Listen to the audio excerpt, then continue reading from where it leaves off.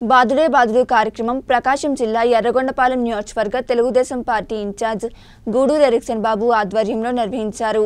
ఎర్రగొండపాలెం మండలం గొల్లవిడిపి గ్రామంలో ఇంటింటికి తిరుగుతూ బాదుడే బాదుడు కరపత్రాలను గూడూరు ఎరిక్సన్ బాబు పంచిపెట్టారు. ఈ కార్యక్రమంలో మాజీ AMC vice chairman doctor Manne Ravindra Yerragondapalem మండల అధ్యక్షులు చేకూరి సుబ్బారావు తదితర టీడీపీ నాయకులు కార్యకర్తలు మహిళలు పాల్గొన్నారు.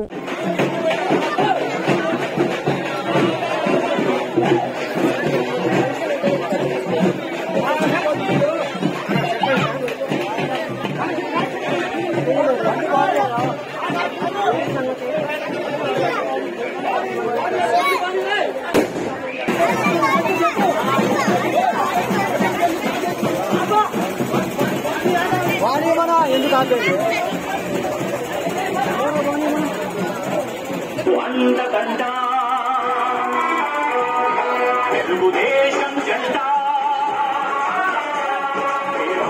అంత దండా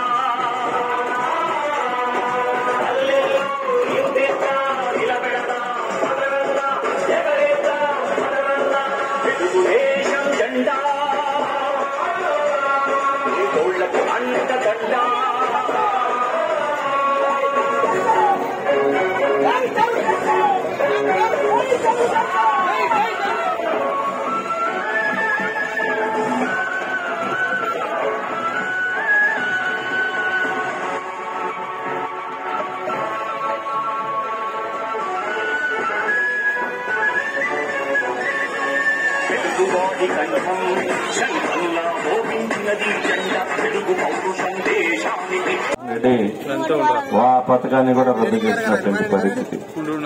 రైతులకి జగన్మోహన్ రెడ్డి ప్రతిపక్ష నాయకుడిగా ఉన్నప్పుడు నేను ముఖ్యమంత్రి అయినాక రైతులు పండించినటువంటి పంటలకి సరైనటువంటి గిట్టుబాటు ధర లేకపోతే ధరల స్థిరీకరణ నిధిని ఏర్పాటు చేసి నాలుగు వేల కోట్ల రూపాయలు రాష్ట్రంలో ఏర్పాటు చేసి రైతులను ఆదుకుంటానని చెప్పినటువంటి పరిస్థితులు ఈ రోజు ముఖ్యమంత్రి అయినాక చేతులు ఎత్తేశారు ఆయన.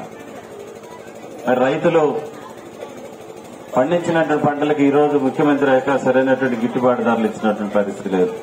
రైతులు పండ్ల తోటలు వేసుకోవాలంటే డ్రిప్ ఇరిగేషన్ ద్వారా మనం తొంభై శాతం మరి సబ్సిడీ రూపంలో మనం తీసుకున్నట్టు పరిస్థితి.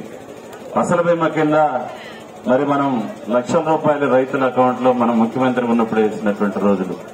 ఈ రోజు అవన్నీ కూడా జగన్మోహన్ రెడ్డి రద్దు చేసినటువంటి పరిస్థితి మనం గుర్తు చేసుకోవాలా? పేద రైతులకి వ్యవసాయం చేసుకునేదానికి ట్రాక్టర్లు రైతు రథాలు ఈ రాష్ట్రంలో పాతిక వేల ఇరవై నాలుగు వేల రైతు రథాలు కూడా సబ్సిడీలో ఇచ్చినటువంటి పరిస్థితి. వ్యవసాయ యంత్ర పరికరాలు సబ్సిడీ రూపంలో ఇచ్చినటువంటి పరిస్థితులు ఆ రోజులు మన తెలుగుదేశం ప్రభుత్వంలో జరిగినాయి. జగన్మోహన్ రెడ్డి ఇచ్చినాక ఇప్పుడు రైతులకి సరైనటువంటి కరెంటు కూడా ఇచ్చే పరిస్థితి లేదు. మన ప్రభుత్వంలో తొమ్మిది గంటలు రైతులు కరెంట్ ఇచ్చాం. ఇరవై నాలుగు గంటలు గృహ అవసరాలకు మనం కరెంట్ ఇచ్చాం. ఈ రోజు ఆ పరిస్థితి రాష్ట్రంలో లేదు. ఆయన కరెంటు ఇవ్వలేకపోగా మనం వాడుకునే కరెంటుకి మరి ఎన్నో రెట్లు ఈరోజు విద్యుత్ ఛార్జీలు మన మీద వసూలు చేస్తున్నటువంటి పరిస్థితి మనం అందరం కూడా గుర్తు చేసుకోవాలి? ఈ రోజు ఎప్పుడు కరెంట్ వస్తుందో తెలియదు ఎప్పుడు పోతుందో పరిస్థితి ఈరోజు తెలియదు మనకి. అదిగాక రైతు మోటార్లు కూడా ఈరోజు మీటర్లు బిగిస్తానని చెప్తా ఉన్నాడు అంటే మనకు వచ్చేటటువంటి ఈ పథకాలన్నీ ప్రభుత్వ గతంలో మన ప్రభుత్వం చేసినటువంటి రైతు సంక్షేమాన్ని ఉద్దేశించి చేసినటువంటి పథకాలన్నింటినీ కూడా కలుగుతున్నటువంటి పరిస్థితి ప్రజలందరికీ వివరించమని చెప్పినటువంటి పరిస్థితి. చూసాం మనం పత్రికలో ఆర్టీసీ ఛార్జీలు మూడు దఫాలుగా ముఖ్యమంత్రి అయిన సంవత్సరానికి ఒకసారి ఆర్టీసీ ఛార్జీలు పెంచి ప్రజల మీద పన్నుల రూపంలో భారం పెడుతున్నటువంటి పరిస్థితి మనం గుర్తు చేసుకోవాలి?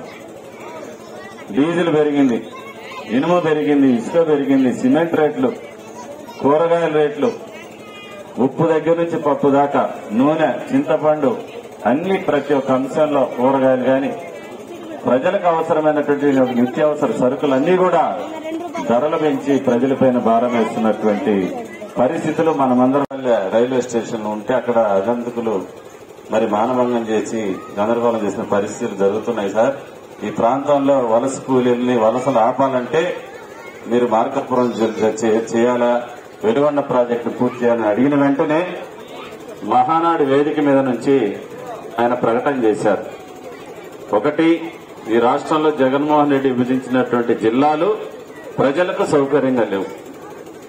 అందుకని నేను ముఖ్యమంత్రి అయ్యాక మార్కాపురం కేంద్రంగా మార్కాపురం జిల్లాను ప్రకటిస్తానని చెప్పేసి మహానాడు వేదిక మీద నుంచి ఆయన తీర్మానం చేయడం జరిగింది.